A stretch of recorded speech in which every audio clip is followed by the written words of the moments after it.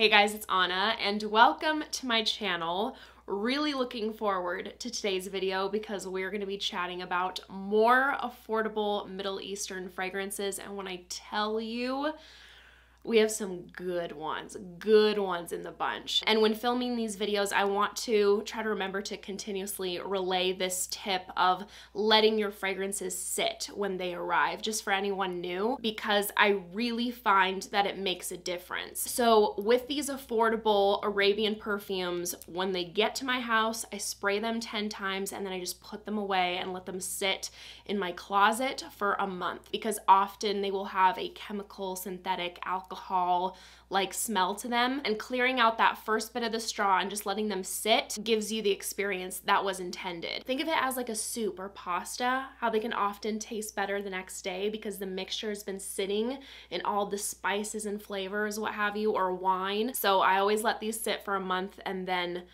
I make my judgments and I test them out. So the first one I wanted to talk about is Le Bois Bois de Vanille. And I was introduced to this fragrance through Maria. She was talking about a bunch of Middle Eastern fragrances with a friend of hers and they were gushing, raving about this one, saying how amazing it was, how it smelled expensive, like it was its own creation, and I was just sold. This is such an elegant, smooth, vanilla coconut floral, perfect for spring and summer. This is in the family of fragrances such as Micallef Ylang in Gold, uh, Lancome Idole Aura. It's not too similar or a dupe of anything, but I think if you enjoy those types of perfumes, then you would enjoy this. I'm really surprised there's no tropical yellow floral listed in here because I pick up a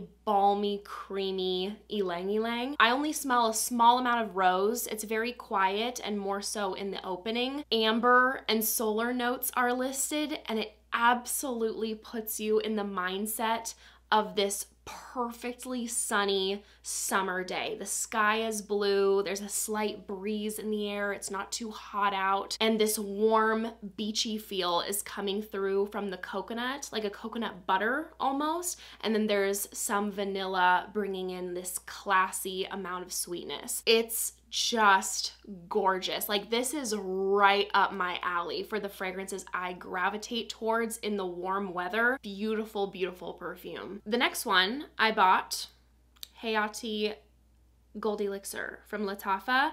Blind bought this because I saw it going viral on TikTok. Piqued my interest. It's okay. I would describe this one as unisex. It's just very strong on the leather, which is not for me. And I'm not loving this particular combo of leather and peach. Those are the most prominent notes that I get from this. It's got a real ambery base, a lot of musk, and a sharp bergamot, and it does give me a headache.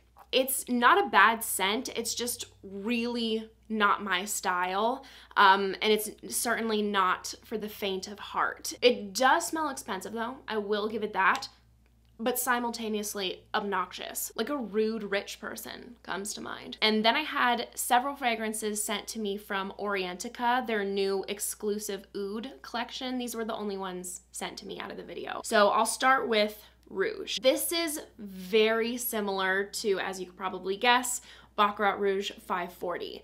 The only difference I pick up is in the opening. Although it's listed in the base, it's in the opening that I do pick up on a bit of that seaweed note, making this smell like Baccarat Rouge, but with a green herbal marine twist to it. However, once it's fully dried down, that goes away and it smells just like Baccarat Rouge. Orientica does make another fragrance called Amber Rouge. If you're looking for a spot on dupe, I recommend that one over Rouge. Amber Rouge is where it's at. It's amazing. Exclusive Oud Emerald. This is a very green, aromatic, zesty, masculine fragrance for spring and summer. Galbanum, bay leaf, and oak moss give it that real earthy green and mossy character. And although very earthy, it's very fresh because of the mint and citrus. It's not dirty at all. It has a real punchy, zesty kick from ginger, adding fresh spiciness. This isn't anything unique. I've smelled a lot of masculine fragrances in this overall category but it smells good, does the job. Could make a good casual fragrance for the warmer months. So overall, it's a like for me. Exclusive Oud Blue. This is supposed to be a dupe for Parfums de Marly Layton. Comparing them side by side, Layton is obviously more refined, it's smoother, creamier, sweeter. I'm getting more of that vanilla. I get more lavender and citrus from blue. And I do pick up on a little bit of the geranium in here where I personally don't in Layton. The opening is where they have their greatest differences, but after about 25 minutes, they do become quite comparable. I love the Layton DNA. I find it to be such an attractive scent profile and it's incredibly versatile as well. It works practically year round, works for so many different purposes and occasions. It's a very likable, easy reach kind of fragrance. It has a bit of a gourmand quality to it, but not overly so, like whatsoever coming through from this creamy vanilla, bringing in this like cozy, inviting sweetness. There's a fresh quality coming through from apple, citruses. There's an aromatic lavender, fresh spiciness, and wood in the base. And overall, all these elements come together to create a really smooth, attractive blend. It's just a scent that tends to appeal to a lot of different people because depending on what you're looking for, whether you want something woody, fresh, spicy, a little bit gourmand, inviting. Um, it kind of like ticks all those boxes. I do think it's a good one, and I am keeping this as a as a backup for when Eric finishes Layton. And then exclusive Oud Sport has a lot of note similarities to Parfums de Marly Kalan. Again, the Parfums de Marly version is much more robust. It's thicker, more intense. Kalan is a bold, spicy, woody, aromatic fragrance with a prominent orange. As is this, but this I would say is easier to like. I think Kalan is a good fragrance, but it's challenging, unique, powerful. It has a rugged character to it. So I think if you're looking for something in that vein, but toned down, this could be a good alternative. Exclusive Oud Sport also smells fresher, and another difference I pick up between the two is that this has an airy saffron, giving it a tinge of sweetness, not too much, and it also smells more green because of the cypress. And and the last one from this particular collection, Exclusive Oud Classic. This is in the same family as Xerjoff's Herba Pura, but better. I've said this many times, but for anyone new, I'm not a fan of Herba Pura. It's too screechy, it gives me a headache. The musk is too much. This is far more palatable. You're still getting that familiar fizzy musk, but it's toned down. I have a couple fragrances in my collection that vibe with this kind of DNA. I love Maisa's L'Amour Eternal, which is focused on mango. I have Swiss Arabian Shaghaf Oud Ahmar, which is primarily peach, then melon.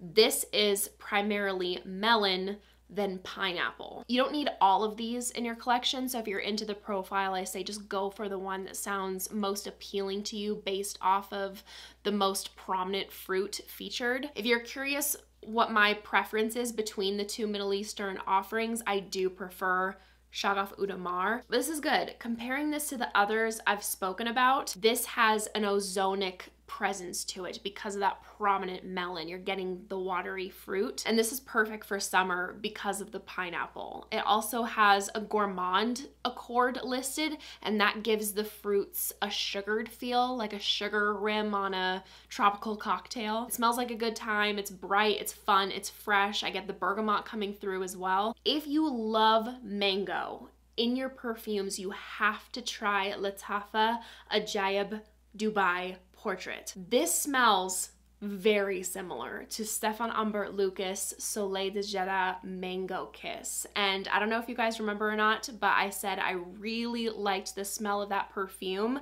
but it smells like a Lux mango body butter to me or a mango colada type of blended cocktail. Very good, but I just think way too expensive for the type of scent that you're getting. In comes this this is a price point I can get down with. So if you are looking for a creamy, ultra smooth, mango body butter type of perfume with a prominent note of osmanthus. It has a really beautiful, bright, tropical, warm floral component that also has a fruity nuance. You've got to give this a try. To me, this is a scent that is not very complex. It's more of a linear profile, but it just smells good. It's a happy perfume. It's got warmth from amber. There's woody notes in the base. I absolutely pick up on an ultra creamy sandalwood. Like I can't stress enough how creamy of a profile this is. And I only get a little bit of the oud personally, and that's just bringing in a bit of depth. But overall, this is a very mango osmanthus forward fragrance perfect for summer it's bright it's fun if you love your tropical fruity perfumes like this is beautiful everyone and their mother has spoken about Lattafa Khamrah Qahwa and although the og is great I do prefer this version. And if you're curious about my in-depth review on the OG, I covered it in an unfiltered opinions episode. This in comparison is not as sweet. I also find this more unisex. The, the other one is as well, but I just, in comparison, I found the OG a little bit more feminine leaning. This is this is just more of a unisex vibe to me. The original is more warm, spicy, and woody. It has a prominent note of dates, which smells great, but it's usually a note I don't vibe with because it can come across too dense and sweet for me. What I enjoy about this is that it's a gourmand, but it's grounded nicely by that coffee note. It comes off like medium roast coffee beans, so it's not too intense or dark. They don't overtake the scent, but they add a nice bit of depth and earthiness to break apart the other gourmand notes. I also get the coffee the most prominently in the opening and mid, and while it does absolutely last throughout the life of the fragrance, several hours into the deep dry down, it does really quiet down for me, and then the vanilla will then become the most prominent note on me. This is a fantastic fall winter gourmand. It's crowd pleasing, it's cozy, it's got spiciness from cinnamon, cardamom, ginger, so it's got warmth, a little bit of zest from the start. Praline, vanilla, tonka bean, and candied fruits give it this gooey, inviting warmth. And then it's got a bit of an ambery feel from the benzoin. I can completely understand why this has gone so viral and it's such a loved fragrance. I think it's absolutely such a fantastic release from Lattafa. Last but certainly not least, this is so good. Another Lattafa. They have got to be my favorite affordable Middle Eastern house. I have so many fragrances from them that I love. This is Musamam White Intense. This is an ultra smooth blend. It's got a little bit of a tropical feel to it, but not overly so, like not nearly as much as something like this, but it will definitely put you in the mindset of the spring summer season. This certainly has an elegant, refined nature to it. It smells expensive, and looking at the reminds me section on Fragrantica, I really disagree. It, it does not remind me specifically of anything. It has an elegant, creamy, powdery sandalwood, a prominent note of coconut, and I feel like I'm getting this like fresh coconut meat as well as this creamy coconut milk. It's got a balmy, slightly sweet ylang ylang that's contributing to just a little bit of this tropical touch. But again, it's not too much of that. This is honestly a perfume that I could wear pretty much year round. I just personally wouldn't reach for it in the winter, but you have like these warm, sunny qualities but then also the sandalwood and benzoin, that little bit of a ambery feel that will also make it work for the fall. And the musk in here, I feel is giving it this clean cashmere like quality. Absolutely beautiful and highly recommend. So that wraps up the fragrances for today. Thank you guys so much for watching. I hope you enjoyed. If you did, make sure to give this video a big thumbs up and make sure to subscribe down below if you haven't already. If you want to see me in any more videos, I'd appreciate it very much. I hope you guys are having a great day and I hope to see you in my next video.